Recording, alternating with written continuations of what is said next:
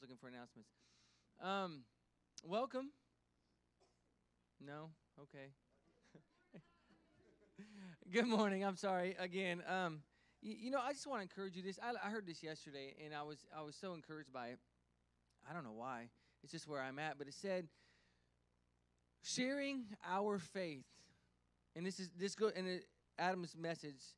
I've already heard, so it sparked this, and this goes along with his message. Sharing our faith is is too often we push it off to the work that an evangelist should do, but it's not. It's the work that a Christian should do and we're all Christians. It should be a part of our, our normal everyday activity uh, in our normal Christian life.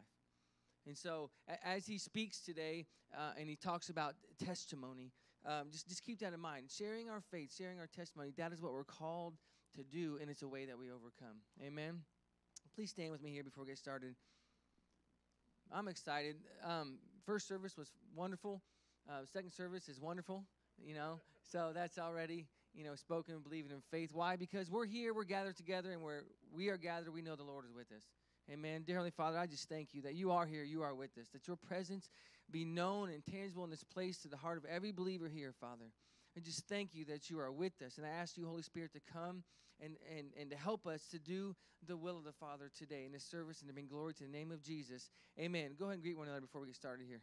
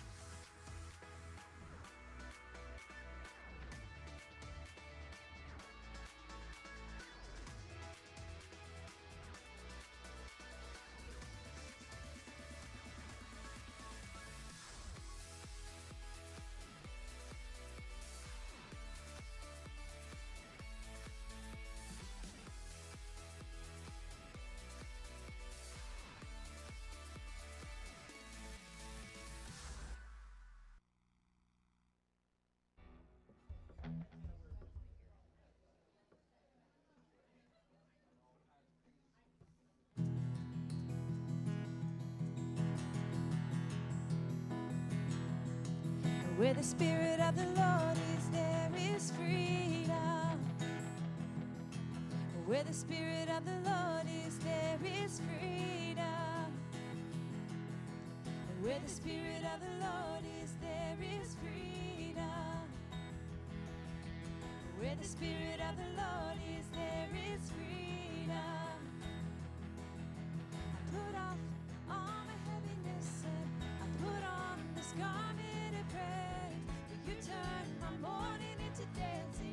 You turn my night into day. Put off all heaviness and I put on this garment praise. For you my mourning into dancing. You my night into day.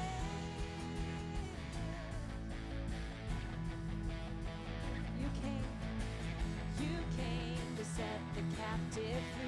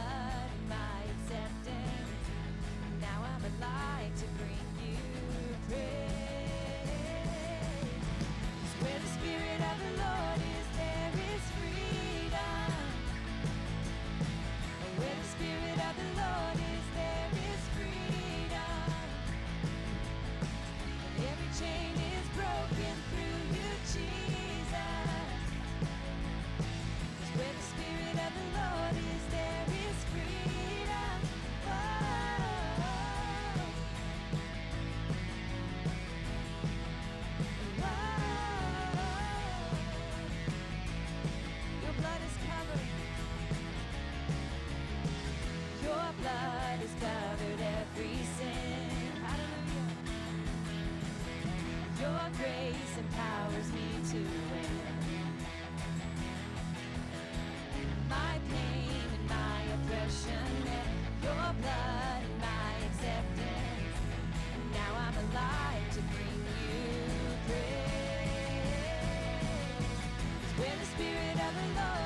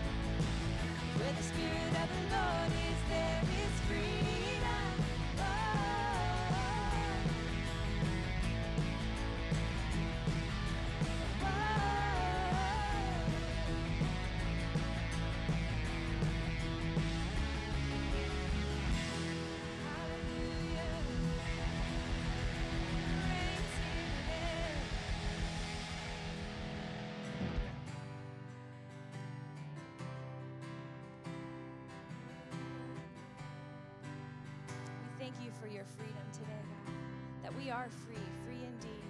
Where the Son sets free is free. God, we worship you in spirit and truth today. Worthy of every song we could ever sing. Worthy of all the praise we could ever bring. Worthy of every breath we could ever breathe. We live for you. Jesus.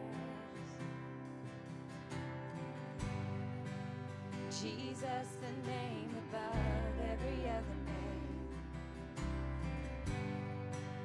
Jesus, the only one who could ever save. You're worthy of every breath we could ever breathe we live for you.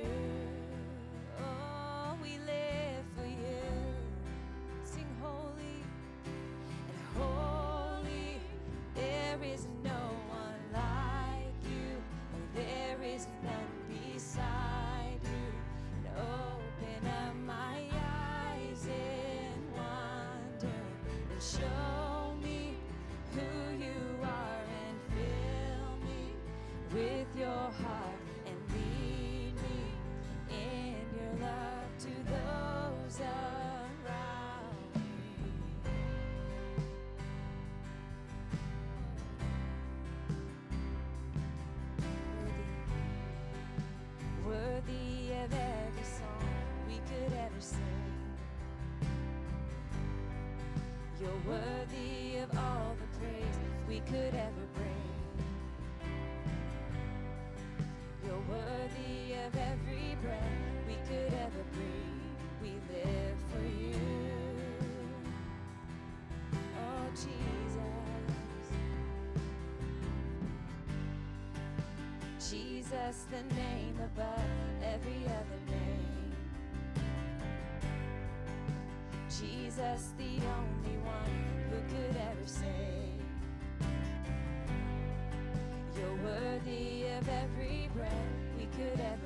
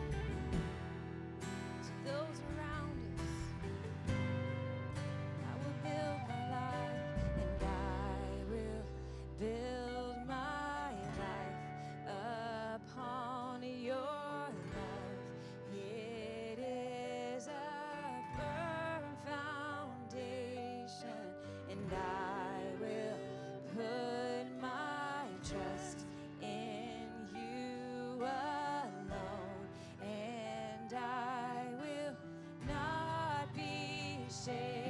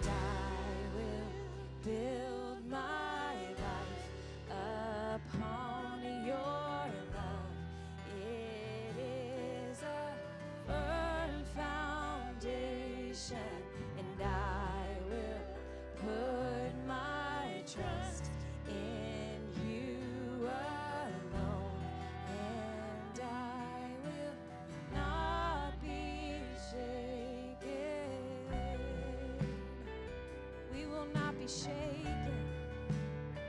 We will not.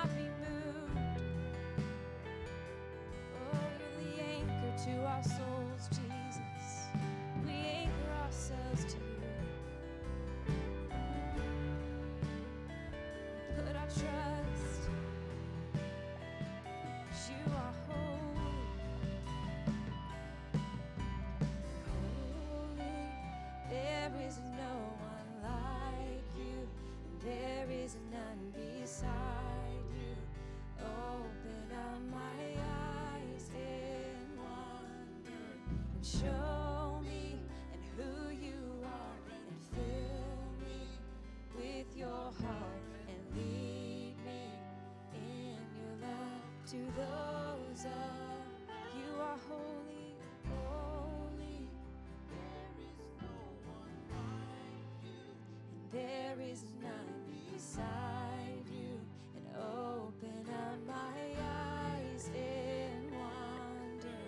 show me who you are and fill me with your heart and lead me in your love to those around me.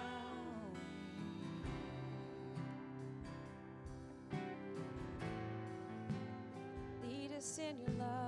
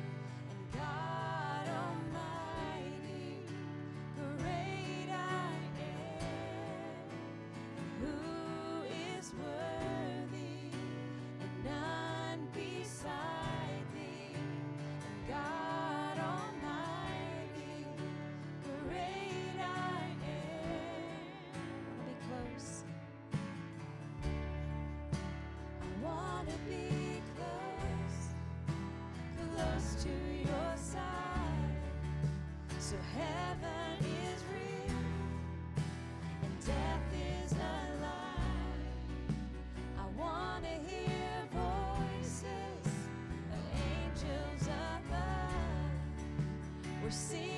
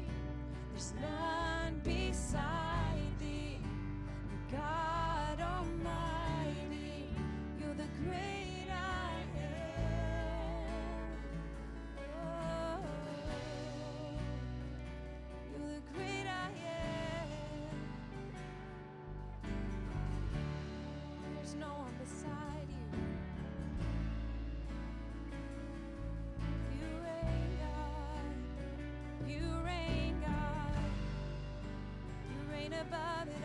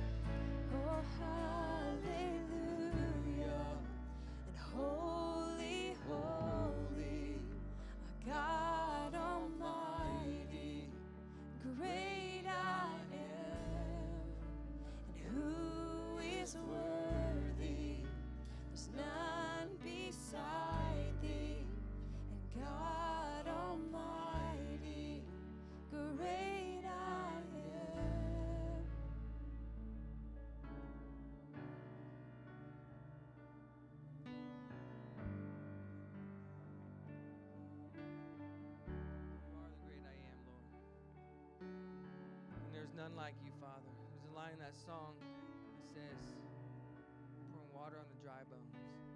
Is anybody here today who feels that way? Just receive. Just receive refreshing of the water through the Holy Spirit. So that you as living waters will flow out again. We're not meant to, we're not called to be lakes. We're not meant to just hold it in. It's meant to be a living water that flows out. It comes from a spring within inside of us. And we need to let it go, let it. That's through our praise, it's through our worship, it's through our lives. So Father, I just thank you that you've given this living water. And that you've given us bread, the bread of life which came from heaven to eat. I just thank you that you've supplied all our needs according to the riches that are in you to your glory, Father. So we just receive now that supply. We receive now that life giving bread, which is you, Jesus. We receive now that water, the refreshing of your spirit inside of us.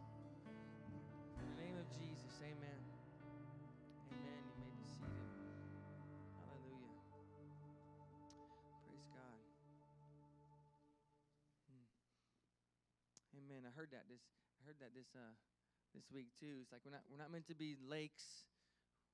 Rivers are supposed to flow from us, out of us, to others around us. You know, to water them, to wash them as well. If we're a lake and we just hold it up, then we're then we're dammed up. We've stopped it up. We've we're missing our purpose. A couple of announcements. I'm going to go ahead and have the ushers come forward. We've not done this in a while. Um, they're in the back, or they're outside. Yeah, they're they're manning the doors. We're going to go ahead and take up our tithe and offering. It's been a while.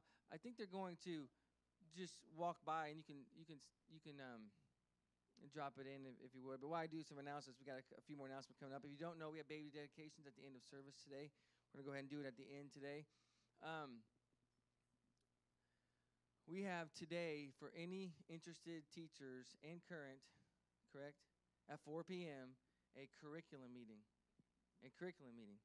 And so, if you're interested in being a teacher, if you're interested in serving, I was reading in John where Jesus he he he bowed and he washed the disciples' feet, and we're to do likewise. We are to serve. One of the best ways that you can wash the feet of others, and even of Jesus Himself, is to serve in our children's ministry as a teacher and as a minister to them to raise them up in the ways to go, to teach them the ways of the Lord to teach them about being filled with the Holy Spirit, to teach them about His blood and the cross and His resurrection and who Jesus is in our lives today and our Father in heaven. So if you're interested, and if I'm not laying it on thick enough, I can continue to go on. But if you're interested in being a teacher and ministering to our children, um, please come. It's at 4 p.m. It's here at the church, and uh, all are welcome. Let's pray, and then we'll take up tithes and offerings while I finish the offerings or um, the announcements. Dear Heavenly Father, I just thank you for the opportunity to sow into your kingdom. I thank you for the opportunity um, to just to just bless you and to give our first fruits of what you've been faithful to give us. We just honor you in it now. Pray a blessing on all those who are here in Jesus' name. Amen. Uh, tonight we have our SOC, uh, our youth ministries meeting at 6 p.m. and its focus is outreach. So that's twofold right now. It's Honduras and it's Vacation Bible School. And it, I keep getting the name of Vacation Bible School wrong, and I repent for that. It's Hillbilly, Heaven Bound Hill. I want. To. I keep on saying Hillbilly Hoedown, but that's not it. It's it's it's more scriptural. It's more, it's more spiritual than that. It's it's heaven bound hillbillies because that's way more spiritual. So if you see a bunch of toilets popping up in the city limits, that's us. We're doing that. Okay, that's our signs for heaven bound hillbillies. And there's there's paintings going on in the back. I've seen some of them. They're good, and, and they're, they're gonna be putting those out. We're gonna have big signs. We're gonna have old rusted out trucks. But we need some other things. So if you want to serve in other ways that you can minister and serve the Lord and, and, and wash the feet of the community, is by serving on a vacation Bible school. It's it's in the beginning of July. It's three days, and you can we, we need we need teachers, we need volunteers, we need people to help with snacks, people to help with crafts. You know, parents have been bound up with their children for like two extra months this year because school uh, closed its doors early. So they need to get those kids out. And they'll be ready to get them out in July. The governor we're planning on, uh, things in Indiana are going well. It's going to open up um, the, the state completely July 4th, the last phase. And so we're excited about it. We've planned our vacation Bible school for that time. But we need helpers. We need volunteers. We also, maybe that's not you, we need stuff. And so some of the stuff we need is, is tents, not the canopies. You want actual tents to put in the parking lot to meet the little groups of different classes. Yeah, tents in the parking lot. That's us. That's what we're going to have. And we need rope because we're going to put out clothes lines and hang laundry on them because that's us too. And so, if you have clothespins, if you have the rope, we- we're looking to hang up. I can't even remember all things of it. What does it say? Um, bibbed overalls. union uniforms. What was the dresses that were on there? That's it. Yep. And we're gonna hang them up. No underwear, please. You know what though? Somebody has a pair of those with like the four, like you always saw in the cartoons with the four buttons, you know, for the back or whatever. Bring those. We're gonna hang those up. Um, but anyway, we need stuff like that. You can find a list. We'll have a written list in the foyer, but we also have a list online, Spirit Life or slcmartinsville.org, that you can go and you can sign up. There's many other things that we need, and so please um, go ahead and sign up and and bring those, Pastor. I need that now.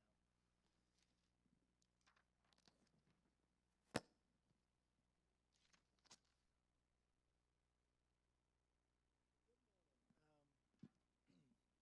we tried to go live on the first service. It didn't quite work, so now we get to do it again. So those of you that don't realize it, the back of your heads might be on camera. So I hope you did a good job getting your hair done today. I don't know. I'm just letting you know. So last couple weeks, Kenny, Pastor Kenny, ta- taught a, a series on raising a ruckus. And last week he taught he focused on mainly the way that we can raise a ruckus is by understanding what the blood of Jesus and the power of the blood in our lives. That we have been redeemed, purchased, bought with, and, and, and because of the what Christ did for us with his blood, we have been free. We're good. We're in right standing with him. And so, but today I want to take this one step further. And I've read this verse, and if you know, been here around, I'm sure you've quoted the verse yourself. But Revelation 12 11, if you've not um, heard this verse before, or maybe if you have, let's read it together. But before we get to verse 11, we got to read verse 10, right? Because it wouldn't be me if it doesn't do that. So, uh, verse 10, Revelation 12, verse 10. it says this And I heard the loud saying, Now is come salvation and strength in the kingdom of our God and the power of his Christ. For the accuser of the brethren is cast down, which accuses them before our God day and night. The heart of what I want to share with you this morning is this we learn to be an overcomer based on the words that we speak, and we're going to tell you in just a second. But here's why, do, why is it so important? We are being accused all the time. All the time. You accuse yourself. The devil's accusing you before God. It says day and night. You accuse other people. We receive accusation. And when we start getting in an accusation mindset, we become inundated with looking at negative things always being the one that's a victim, always being hurt, and always being wounded. And accusation is the tool there. And the word there, by the way, uh, accuser of the brethren, that is actually the devil's name. He is the one who's a divider. He's out to accuse you, to bring division and strife in the body of Christ. And when we can learn the power that we have to be an overcomer, we will learn to overcome accusation when it comes at you from someone you love. It hurts. Husbands, wives, anybody? You ever, ever have a, you always do this? That's an accusation. Don't you hate those always, anyways? Or you never do that. Now they're never always. You know, Pastor he always refers to. I think every, almost every other sermon it gets brought up at least. Not every every other. See, otherwise I would have said all of them, and I would have done exactly what. Okay, anyways, thanks for the correction there. But either way, we get to a point in our lives where accusation becomes something that's regular. We entertain our minds, and we become to accuse ourselves. I'm worthless. I'm not good enough. I, I, and we start looking at our inability rather than God's ability. And I want to change that today. We have already an enemy that wants to accuse you and divide from you. We need to learn how to be uniters. When you hear something negative about somebody, or you hear something negative about from your own self speak, you've got to learn to combat these things with the Word of God and truth. Speak to those things. Even if you don't know the truth about something, begin to say, listen, I'm not going to believe that because you know what? I'm not going to be a part of accusation and division and strife. All it will do is to divide me. And it won't just, I'm not talking about, if I go to, to Chuck over here and talk to him about so and so over there, you know, and he starts believing it, if he believes it, it's going to be, not only are we divided, but he's divided now. And this is how the enemy loves to work. So we want to overcome these things today. And so it's going to give us the secret right here, verse 11. And they overcame him. Who? The accuser of the brethren. We overcome all accusation and the devil himself by the blood of the Lamb. Last week, already been shared. The blood is our overcoming nature. This is his work. He's going to tell you right now there's three things that we're going to be overcoming. One is the blood. Who did that? Jesus. That's his response. He already did that for us. So now we have no reason to not be an overcomer on his part.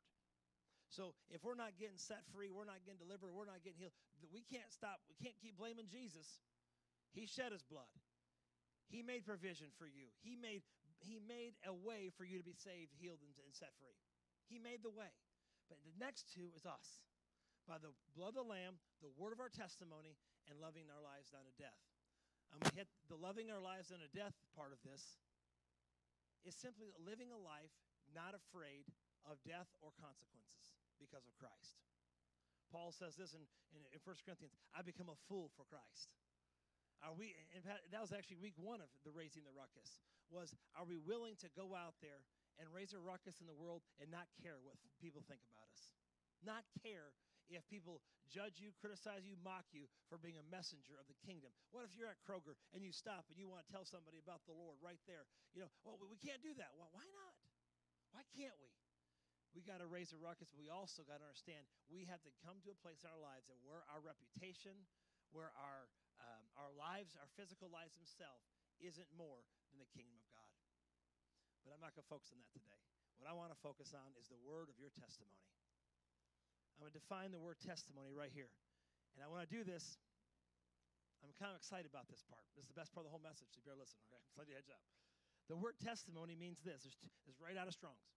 The office committed to the prophets of testifying concerning of future events.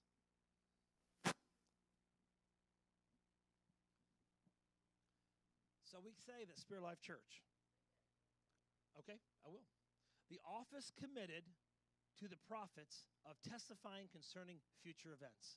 So the word testimony, one definition, is not the only. There's one thing, by the way, let me just give you some quick Bible interpretation skills.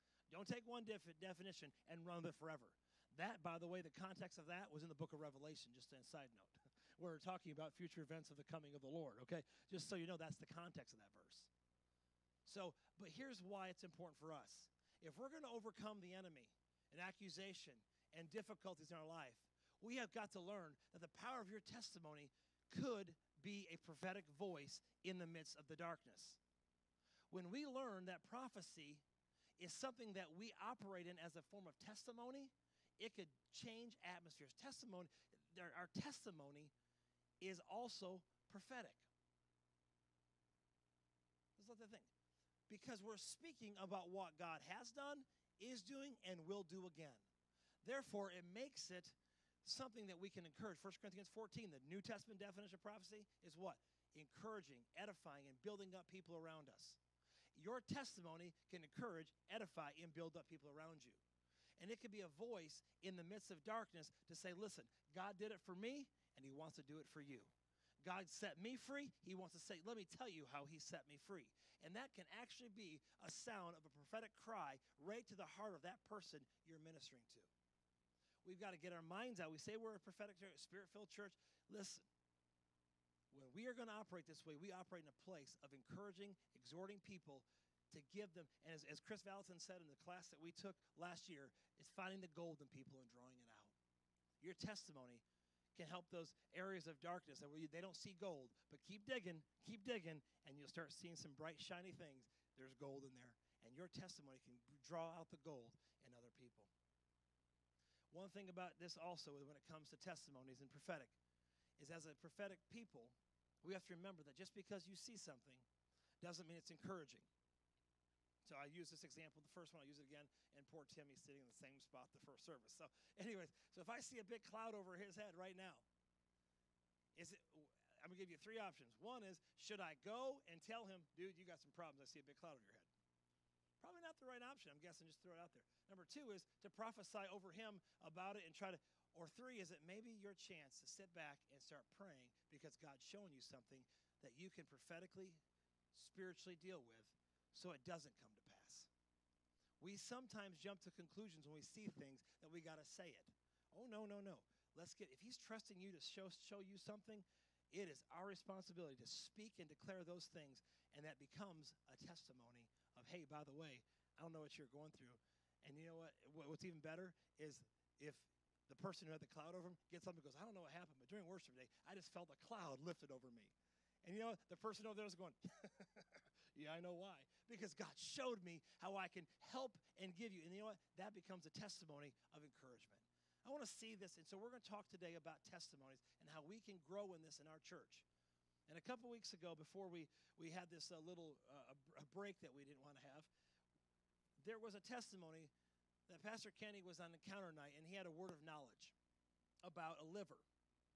And he said, I have a word, and it was a really specific word, and it was about liver. I'm like, and there was only like, what, 30, 40, 40 something people here. So it's not like there's, and a lady got up, was in the first service, so I was able to, to talk, and got prayed for through obedience. So we had a word of knowledge released, obedience received by faith, and then gave and gave her testimony, those that were here in the begin, middle of March, about her story and how God healed, set her free from all this past of her life, drugs and all this stuff, you name it, all that stuff.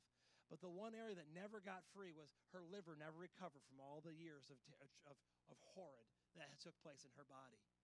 And she used it as a reminder that, hey, this is the way I was.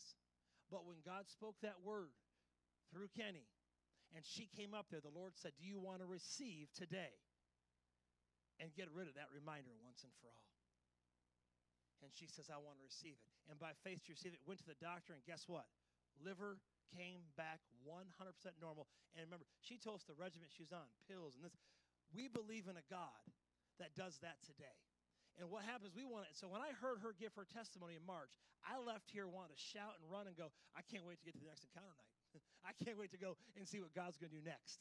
And so, testimonies ought to bring your faith to a place of believing that not only will God do it for them, He wants to do it for me. You follow me? All right. What is the purpose of testimonies? I'm going to give you three today. I'm just going to, you know what? I'm going to cheat. The first service, I, I, I drew them along. Anna. There's three purposes of testimony. Number one is to give all glory and honor and attention to God. That's it. If you miss number one, stop testifying. Because if it's about you, it's a worthless. It's great to draw attention to you, but it's not because God wants to receive the glory for what He did in you. Number two, it is to help help you get through all your life together. Testimonies are for our own encouragement, our own strength in the midst of it. And number three, it is to be an encouragement to others around us. Testimonies encourage people. Number one, Billy Graham said this The unbelieving world should see our testimony lived out daily because it just may point them to the Savior. Our testimony would point them to the Savior. That is the goal of who we are, transformed by God Himself. And in John chapter 9, one of my, oh, I did, I did, you know, I'm, I'm, I'm just going to leave that out today. Okay, listen, I'm leaving it out. All right. Mark chapter 5. I'm skipping ahead of my notes. I missed it. It's too late. You lose that. Now, Mark chapter 5, it talks about the Spirit Legion.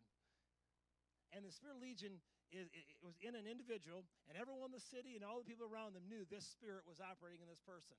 And so this spirit came before Jesus, and Jesus said, Who are you? And he goes, My name is Legion. We are many. You know what that tells me? This could be a case of a very big problem that everyone knew about. We believe that the Legion spirit could also talk about people living in multiple persons. I mean, all kinds of weird stuff. This person was operating. So one day he's Bill, one day he's she's Sally, one day it's Pete, and this this person knew this guy was off his rocker. So Jesus went up to him and said, "Hey, what's your name?" Well, good. In the name of Jesus, he cast the demons out into the pigs, and they left off and ran off. And then this is the favorite part of the story. He was so excited about what Jesus did. He's like, "Hey, let me go with you." Mark chapter nine, verse um, uh, 19 says this Jesus said, Oh, hold on. I'm sorry. I know you want to go, but go home to your people and tell them how much the Lord has done for you and how he has had mercy on you. So the man went away to tell in, in the Decapolis how much Jesus had done for him. And all the people were amazed. All the people knew this was Psycho 101 where his head was spinning or whatever was going on. And now they see him in his right mind, healed, healthy, whole. And he was able to testify that the, the God, Jesus, touched me and the demons are gone. Who received the glory? Jesus did. And therefore, when we learn that the power of changed lives is the power of testimony of what God has done in you. A couple different verses I like to read Psalms 22 22. I will praise you to all my brothers. I will stand up before the congregation and testify of the wonderful things you have done. of all the wonderful things you have done. Our testimony, when we begin to share with anybody, needs to get to the point where at the end, look what God did in Adam. Wow, he really was a wreck. He really needs some help. You know, I share this all the time, but I'm going to stop. I'm not going to. Psalm 66 16. That's okay. I'm moving ahead. Come and listen, all of you who fear God, and I will tell you what he did for me. Isn't that great? Come, if you want to listen, I'm going to tell you what he did. I'm not going to talk about me, I want to talk about him. I'm going to talk about what God did. In my life, I've seen the Lord deal with me before I was saved, but here's the great news. When I was living like a heathen, I saw God get a hold of my life and change me, and I came on fire. But after you get on fire for a while, that's a testimony. All of you here, I, I, I just felt like I need to share this right now. Then I began to jump in the fire and get into ministry. And those that don't know, in 1995, I left the ministry because I knew the Lord showed me I was unfit to be in full time ministry. I just wasn't ready. Was immature in areas of my life. I was just wasn't ready. So I moved back to Michigan, where, I, where I'm from, and I went to go through an intense discipleship time, getting in the Word of God every day myself, and meeting with one of my father's mentors on a regular basis, ministering to me in areas that would grow me up in the Lord. I thought I was ready, but I wasn't jump ahead. I go get transferred down to Indiana. I, I start running a Christian bookstore. Everything seemed hunky dory, and I start getting invited to go and speak at events at different churches, and it was great. And the Lord began to speak to me through a prophet, a prophetic voice that God's going to raise you up and become a pastor. I'm like, no, I don't think so. I'm, I'm good where I'm at, and He did. And I'm here in Martinsville. And since I was here, I've been the most amazing man I got. No, well, uh, never mind. Since I've been here, I've also seen that I got married, and that tells you how. Uh, I mean, in the world's eyes, I thought it was going to be easier, but God had to deal with me to be a better husband. And we had kids, and I had to learn how to be a dad. Then, as trials come in your life, you learn. I didn't have it all together like I thought I did. Matter of fact, there are some some months and weeks. Or uh, Beth used to like to share this story when we're in private. I would share it for her now because she loves it. She says, you know, we would be up all night. Uh, what, what do you call that Christian word for fighting? Discussing things. We were discussing problems that we had with one another and uh, we'd be literally up all night long. No one's ever done that here, but we, we're heathens. We're back then. No. And then I would go to church the next morning, and she'd skip because she's like, "I want to sleep, and I don't even want to see you up there preaching because you're, I'm mad at you." And so she'd skip church that morning, and she'd get called. No, you didn't skip. She's, she's, she, she didn't skip church many times. And so she didn't want to make it too obvious that we were up. But most people could see by our eyes, boy, you guys had a long night. You know what's funny is the anointing of God would kick in, the word would go forth and be powerful, and she'd be so mad at me after church. How dare you? We've been up all night, and look what God. Why? Because God wanted His word to go forth, and back then He gave us a lot of grace. we need grace, and His grace propelled us. But you know what's nice? I can tell you it's been years. I don't know how many years, double digits, where we've even had it close to that, because we've grown up, we've matured. Why? Because we both had to realize humility and brokenness before each other and before the Lord will heal all relationships. I'll be honest with you. I'm just being trying to lay it out there today. But as I testify to you today, the reason I'm doing that is because somebody in this room needs to hear that. Just on a side note, just throwing it out there because I, I haven't shared that in I don't know the whole thing in a long time. But God brought us through a lot in the world's eyes, if it wasn't for my job as being a pastor, the first couple of years we would have never made it because we both were such different people. And I was very hard headed, she was not. Okay, just her mom's right here, so I really guys looked over there and saw her mom. Like, okay, yeah, her she was perfect, but no, we both realized, hey, we got problems, and we got through them because we didn't give up. We fought, and we overcame.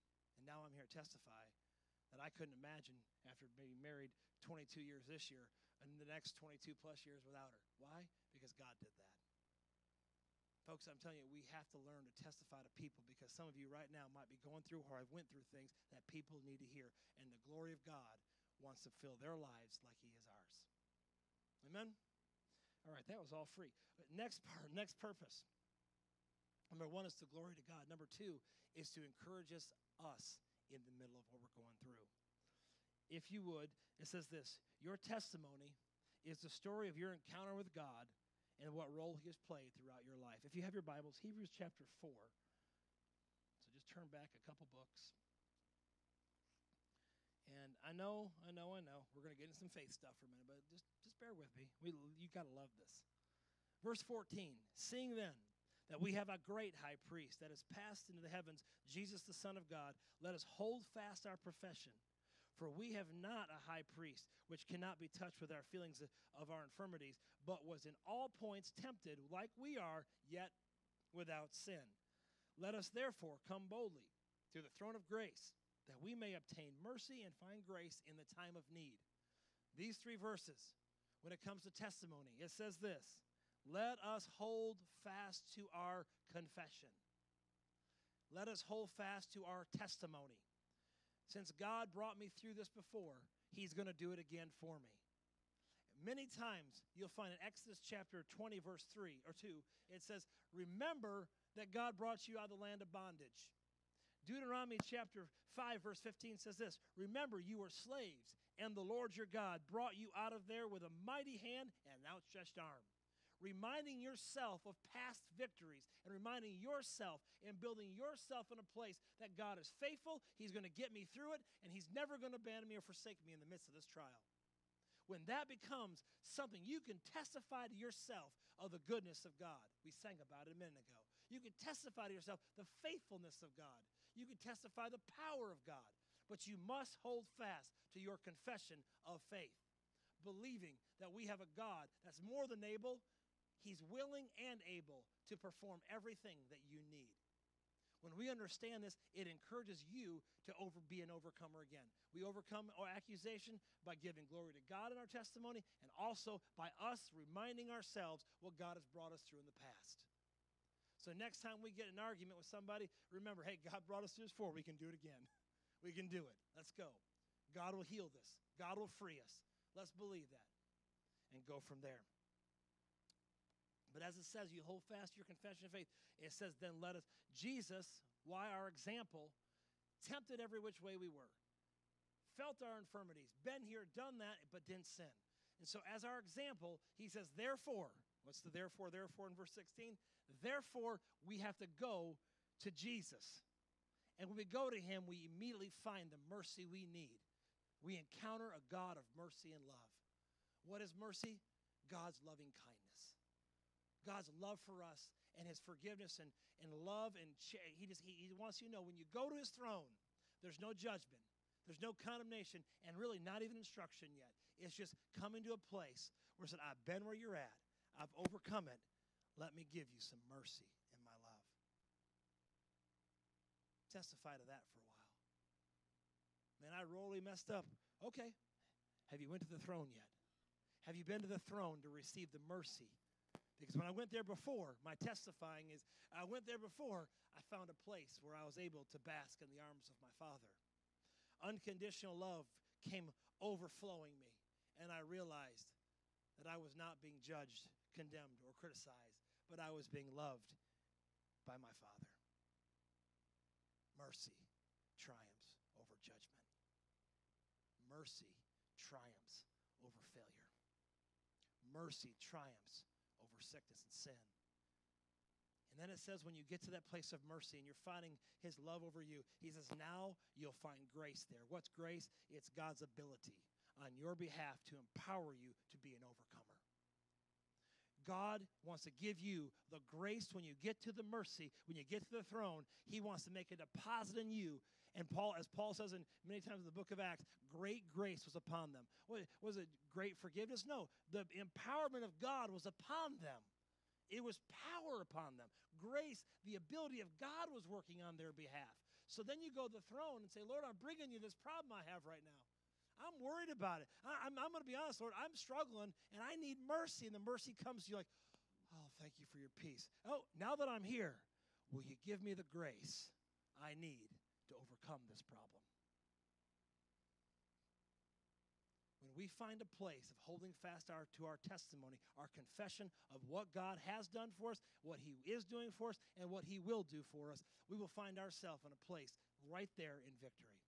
Sing the victory before it comes, prophesying the victory before it comes, speaking into the victory before we see it are things that we've got to learn to do. Because as I've said, and I'm going to keep saying, if God did it for me yesterday, I know He'll do it again for me tomorrow. If He did it for Joe, He'll do it for me. If He did it for Deborah, He'll do it for Lisa. Because He's not a respecter of persons.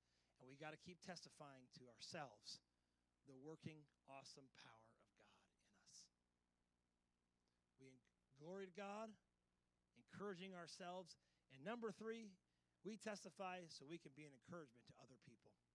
We have got to be ones like I was. I told you after uh, she shared her testimony that week, I, l- I literally left there feeling overwhelmed about how awesome God was. And the next time I heard about a disease that didn't seem to be uh, only treated by medicine and it needed a miracle, I began to realize, hey, God did it last week. God did it last week for her. He's going to do it for me this week. So when I pray for people, I pray with power, I pray with purpose, I pray with passion, and I pray with confidence. Testimonies ought to bring a confidence in you to believe that God is able. Your story is the key that can unlock someone else's prison. Say it again. Your story is the key that could lock somebody else's prison. You have the key to unlock what they're going through. You got to speak it. You know, you, if you have a great testimony, you don't talk about it. It's not doing. We need to learn how to speak and declare these things. Victory is in the power of our testimony. 1 Thessalonians chapter 5 says this in verse 11. Wherefore, comfort yourselves together and edify one another, even as you also are doing. We urge you in verse 14, brothers, to admonish those who are idle, cheer up those who are discouraged, and help those that are weak, and be patient with everyone some encouraging words that the power of your testimony can do for others around you. We've got to learn that when someone's going through a trial, wouldn't it be awesome if you say, you know, I, I've been there before. Can I share with you how God and what God did for me in the midst of that? You're going through that sickness? Hey, you know what? I was sick one day and I began to stand. And that's why, honestly, I don't mean to be a broken record. I really don't. But that's why I love Brother Hagin's testimony of getting healed so much. It is one of the most powerful testimonies I have ever read. I mean, a guy, a, a young teenage boy in bed, never going to walk and going to die young, gets a revelation from God saying, I'm going to heal you. And then he's like, okay, good. He got a revelation. Woo, I can speak to the mountain. But then he gets this word from God, which ought to really mess you. He goes, healthy people don't stay in bed all day. Uh oh. Faith is going to get some action here. And then I remember this part, and I'll stop because I've shared it so many times over the years. As he puts his feet, the books, as he puts his feet upon that floor, it said he felt like blocks of wood, logs, hitting the ground. You ever been that way? Take a step of faith, and it turns out to be a big clump. How am I going to walk through this? You're not. You're going to stand on that until you can walk. You're going to believe, so you will receive you believe first that you have received. And Brother Hagin put that foot down there, and as he said, he stood. He began to put more weight. More weight? Isn't that against here? Faith is not what we see, but it's unseen. He had a revelation. If you put more weight, healthy people need to put weight on those legs. And after how many weeks he was in that bed, he probably should have received some physical therapy, correct? Nope. And as strength restored to one leg and not to the other, he got out of that bed walking. I love that testimony because then God uses him with that testimony, that testimony of Brother Hagin. Have you anybody ever heard of, uh, you know, like Hagin, uh, like Rhema Bible College? Kenneth Hagin. Why? Because he had a revelation of what God did for him, and he wanted to see everybody in the world encounter a revelation of testimony what God did for him. If God did it for Kenneth Hagin, he can do it for the guy down the street. And now he has a whole Bible college teaching and training people how to walk in those promises we've been given. Why? Because a one man's testimony became a Bible college for everybody else. What has God been doing in you that can encourage the world around you? What is God doing in you that can encourage people around you now? Because when we learn to have a voice, and I'm going to go back and repeat the first definition of that. When we learn to have a voice, it could be a prophetic utterance right to the heart of someone who needs to hear your testimony in their life. God healed me, and I believe right now He wants to do that for you. God set me free from drugs. He wants to do that for you. God set me free from, boom. As we go through this, we begin to testify of the goodness of God, the faithfulness of God, and the power of God to these people. Your testimony can bring hope and change to the people that you minister to. Hebrews 10 24 and 25 says this. Eh, let's go back to verse 23 because it's the same thing I just read earlier. Let us hold fast to our confession of faith. I think that was the last topic, but I just love without wavering, for he is faithful that he's promised. And let us, we have to do this, consider one another to provoke one another unto love and to good works, not forsaking the assembling of ourselves together as the manner of some, but exhorting one another, and so much more as you see the day approaching. One of the reasons why I'm so glad we're back together is we're honoring this verse right here. We are honoring coming together as a church. We're honoring being in this building together, worshiping, and, and as Acts 2 we're sitting on the teaching of the word, and we get back together. But why do we get together? Not just for those two things, but if you look at Acts 2, it says that they got together for the word and the fellowship of the saints. We need each other, guys, girls, boys, girls, men, women. We need each other. We need to encourage one another. And that's the part of this church that I want to see become greater. When you walk out of here, testify what God showed you in worship today. Testify what God spoke to you through the word today. Testify to your neighbors and your family and your friends about what God is doing in and through you that can mark and change them forever. When we become a voice of testimony to those around us, we have power released through these things that will change not just the, the, the attitude of people's view of God, but each other and ourselves. And I believe we need to learn to start walking in testimony. In conclusion, I want to share this with you until we switch gears. We need to keep talking. Keep talking about what God has done. Don't stop. If it's small, if it's large, it doesn't matter. Because when you put your focus on what he's done and is doing, you'll take your focus off of what's not being done or what's being done in the negative. When you put your focus on what God is doing, you start focusing this way rather than this way. You start looking at opportunities rather than struggles. You start looking at things that give you hope and future rather than death and destruction. You start looking at a way out rather than no way out. That's what testimonies do. It gives everybody a hope to lift up your heads and see the Lord is drawing near and he is going to deliver you in that day. We are an overcomer, and our words need to back that up. Amen? Amen. All right.